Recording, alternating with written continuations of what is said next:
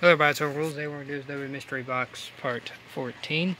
And we're going to pick out, oh, the doll penny belt tag team championship belt. Look at that, a very doll belt.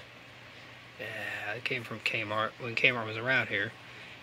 And this belt, not very good, but, uh, eh, it gets the belt nonetheless. At least they have effort to put actual, that on there actually like have the plates on there, and, but they didn't color it, which is fine. It came in a basic. I think it was with Daniel Bryan.